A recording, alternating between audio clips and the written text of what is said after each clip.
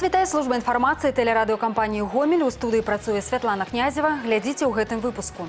Адзін тэлефонны званок можа многае вырашыць. Сёння прамую лінію з жыхарамі рэгіёна правёў Юрый Шулейка. Да свята гатовы. Заўтра ў жыткавічах будуць прымаць гасцей і ўдзельнікаў абласных дажынак. У цэнтры ўвагі дарожная бяспека. Лічбы статыстыкі і меры прафілактыкі разгледзелі на пасяджэнні гомельскага гарвыканкама. А зараз аб гэтым і іншым больш падрабязна. Прэзідэнт Беларусі Александр Лукашенко паабяцаў накіраваць у Таджикістан кіраўніцтва буйнейшых кампаній для вывучэння магчымасцей стварэння новых сумесных прадпрыемстваў. Аб гэтым ён заявіў сёння на перагаворах з прэзідэнтам Таджикістана Эмамалі Рахмонам, які знаходзіцца ў Беларусі з рабочым візітам. Паводле слоў прэзідэнта, новыя сумесныя вытворчасці маглі б працаваць і на Таджикістан, і на трэція краіны. Дарэчы, для нашага рэгіёна ва ўзаемадзеянні з Таджикістанам адкрываюцца новыя перспектывы.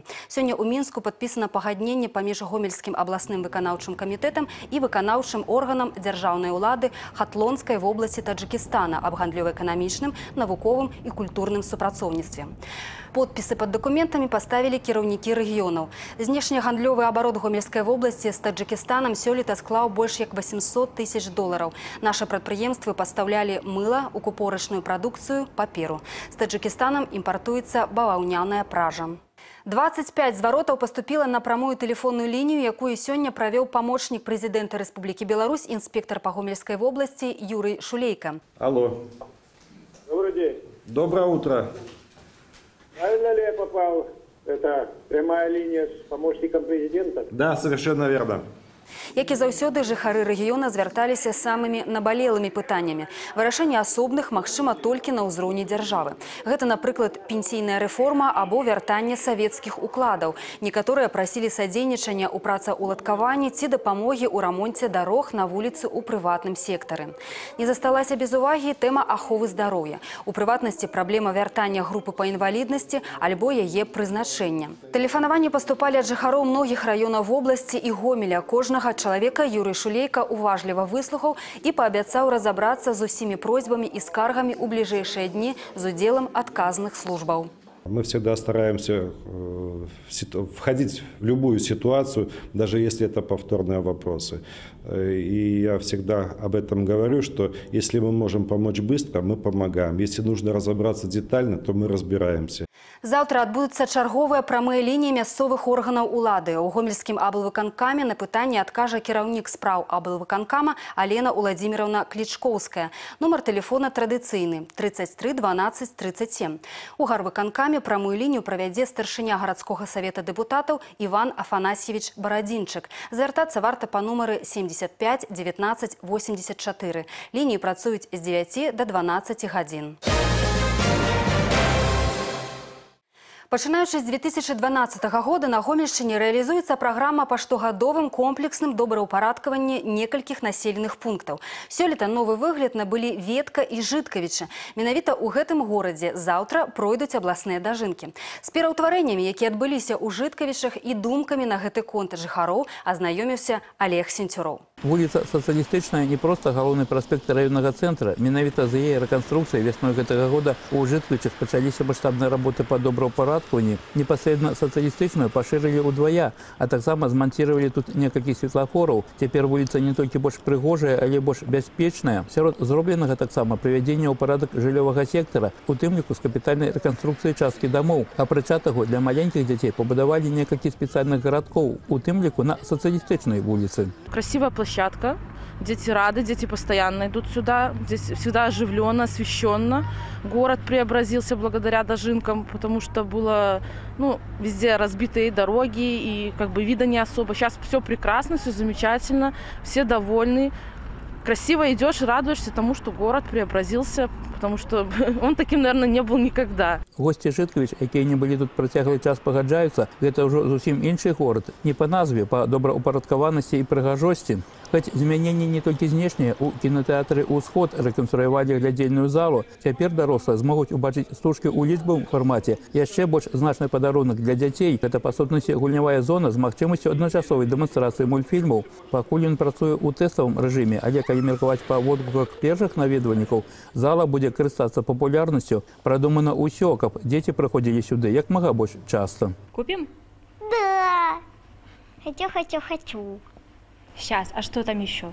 Лисичка моя любимая нарисована. Хорошо, удобно, с детками можно приходить.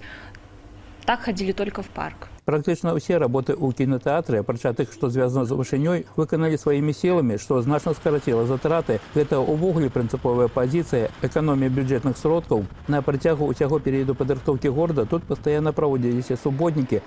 У выніку атрымалася зрабіць значна больш таго, што планавалася на пачатку года. У тым ліку вырашыць праблему, якая хвалявала жыхароў некаторых мікрараёнаў не адно дзесяцігоддзя па прычыне адсутнасці ліўнёвай каналізацыі пасля моцных дажджоў прайсці па мясцовых вуліцах было немагчыма. Настолько остро стоял вопрос, что у нас невозможно было подъехать к поликлинике, э, подойти спокойно. Значит, э, тротуары все в воде плавали, поэтому э, поработали так, что уже этот вопрос болевой снят. За одним открывалось что-то другое, и, естественно, оно все увеличилось, скажем так, потому что изначально мы видели одно, потом, когда глубже занимались, тоже получалось, что немножко увеличились объемы и объекты по нашему городу. Мы затронули практически все микрорайоны. Сярод уведзеных аб'ектаў стадыён, праведзеныя тут работы, нават нельга назваць рэканструкцыі, пабудаваны прынцыпова новы спартыўны аб'ект. Прычым у бліжэйшы час побач з футбольным полем з'явяцца валейбольныя, баскетбольныя і хакейныя пляцоўкі. Сярод уводзімых аб'ектаў таксама вучебны корпус другой сярэдняй школы, пабудаваны яшчэ ў 1959 годзе ён ніколі не бачыў капітальнага рамонта, а таму прыйшоў у аварыйны стан. Наши шефы, подрядчики по МК-97 выполнили полностью работы по демонтажу всех перекрытий здания, по монтажу новых перекрытий. И сегодня сейчас процесс идет укладка полов, и подготовка к сдаче в будущем году нашей школы. Новы выгляд набыў і гарадскі цэнтр культуры. Адносіны да гэтага аб'екта ўжыткаюць асаблівыя. Менавіта сюды запросіць удзельнікаў абласнога свята працаўнікоў вёскі. Вось гэта галоўная сцэна дажынак 2017. Менавіта тут 2 снежня адбудзецца ушанаванне сёлетніх пераможцаў. Зараз у зале завяршаецца апошняе прыгатаванне. Ужо завезена неабходнае абсталяванне, а жанчыны завяршаюць работу над тым, што на прафесійным сленге работнікаў культуры называецца адзеннем сцэны. Олег Сенцюроў, Евген Макенко, тэлерадыокампанія Гомель, Жыткавіч. Як зрабіць гомель бяспечным для ўсіх удзельнікаў дарожнага руху? Што для гэтага ўжо зроблена і што яшчэ трэба? Гэтыя пытанні сталі галоўнымі на сённяшнім пасяджэнні гомельскага гарвыканкама.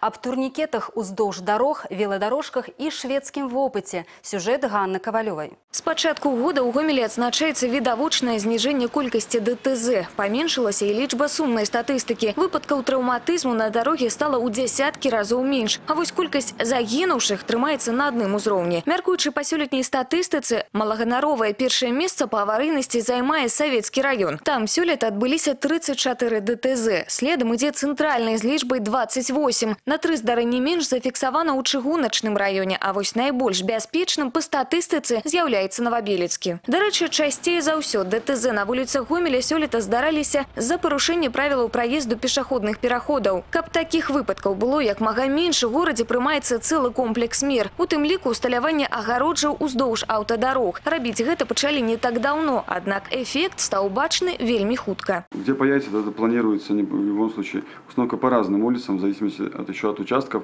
вблизи остановок общественного транспорта, где присутствует большое притяжение граждан в первую очередь. Поэтому опре- места определены, это улицы Богдана Хмельницкого, Барыкина, проспект Космонавтов, Советская. Дарэчы, існуе афіцыйны спіс патрабаванняў, выкананне якіх дазволіць захаваць бяспеку дарожнага руху ў Гомелі. Вынікі і планы па рэалізацыі гэтых мерапрыемстваў абмеркавалі на пасяджэнні гомельскага гарвыканкама. Зараз у дакуменце 34 пункты. Сёлета цалкам альбо часткова ўдалося выканаць толькі 24 з іх. Прычына недахоп фінансавых сродкаў. Выкананне астатніх пяройдзе на наступны год. Сярод зробленага ўстаноўка агароджаў на 8 вуліцах, аснашчэнне больш як паўсотні пераходаў дадатковым асвятленнем. Рэканструкцыя вуліц з іх пашырэннем. Агучаны былі і прапановы на наступны год. Так супрацоўнікі ДАІ выказалі свае ідэі аб тым, як зрабіць Гомель больш бяспечным. Прапаноў цэлы спіс на трох старонках. Многае з сусветнага вопыту. Напрыклад, стварэнне спецыяльнай транспартнай прасторы для велосипедыстаў. Мы изучали опыт,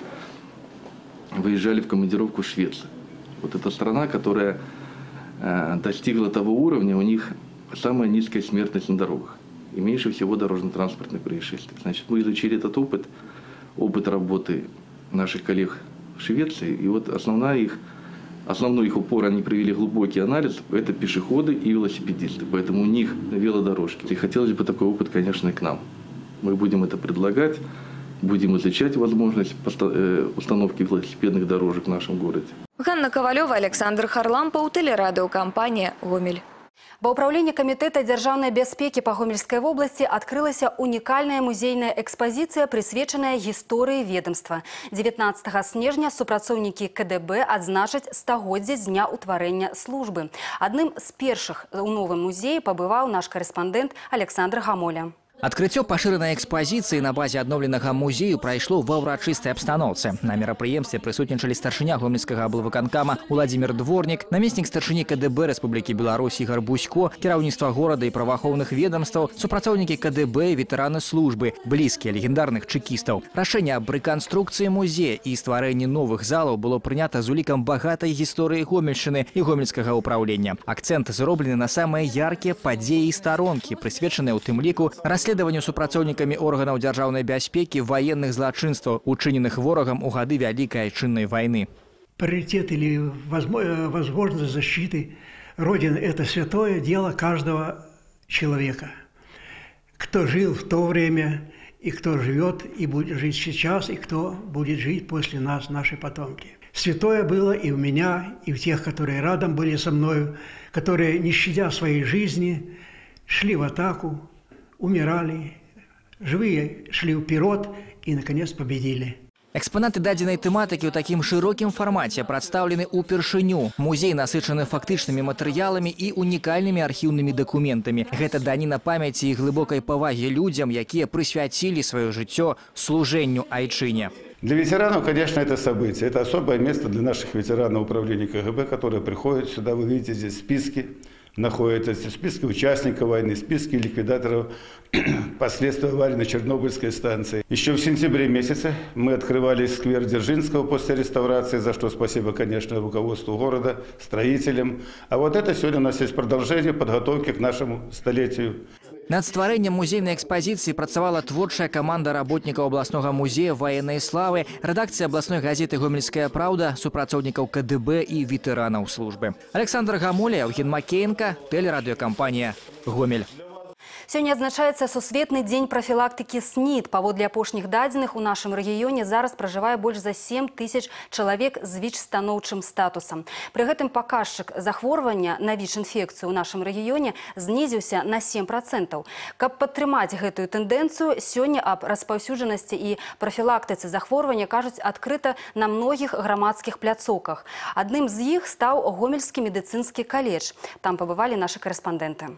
На адзін дзень уваходу гомельскі медкаледж адкрылі для ўсіх жадаючых. У дзень барацьбы са снедам тут упершыню правялі інфармацыйна-прафілактычную акцыю ў незвычайным фармаце. Актавая зала стала імправізаванай алеяй антыснід. Тут размясцілася некалькі пляцовак. На першае наведвальнікам прапанавалі прайсці экспрэс-тэсціраванне на ВІЧ. На другой згуляць у тэматычнае лато і атрымаць інфармацыйныя буклеты. На трэцяй прапанавалі альтэрнатывы нездароваму ладу жыцця. Заняткі рукадзеллем, фітнесам альбо харэаграфіяй. Для аматараў аматараў інтэлектуальных гульняў падрыхтавалі віктарыну, за правільныя адказы ў якой уручалі прызы. Асобны стол застаўлены мяккімі цацкамі, якія прынеслі наведвальнікі каледжа. Аб зборы было абвешчана загадзя. Сабраная будзе выстаўлена на міні-аукцыён, а атрыманыя сродкі пералічаць на лячэнне дзяцей, якія жывуць со статусом ВИЧ. У нас у славянских народов всегда было принято, что в одиночку с бедой мы не боремся, что э, важно здесь объединить усилия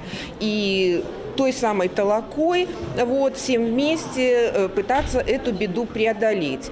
И э, очень важно э, участие в этом и государственных организаций, и общественных организаций, и неравнодушных граждан. Очень важная задача вырастить э, здоровое поколение, которое будет резистентно ко всем вот этим вредным привычкам, которое будет мотивировано к ведению здорового образа жизни, которое будет знать и уметь, как жить самим и как преподносить другим эту информацию. Падчас семінара было агучана, што ў гомельскай вобласці назіраецца зніжэнне ўзроўню захворвання. Пры гэтым павышаецца эфектыўнасць дыягностыкі. Дарэчы, праверыць свой статус сёння можа кожны, нават не наведваючы медыцынскую установу. Набор для экспрэс-тэсціравання па сліне можна набыць у аптэцы. Ганна Кавалёва, Наталья Ігнаценка, Александр Харлампаў, тэлерадыёкампанія «Гомель». І на гэтым наш выпуск завершаны. Далей у эфіры спартыўны агляд з навінамі спорту вас пазнаёміць Максім Савін.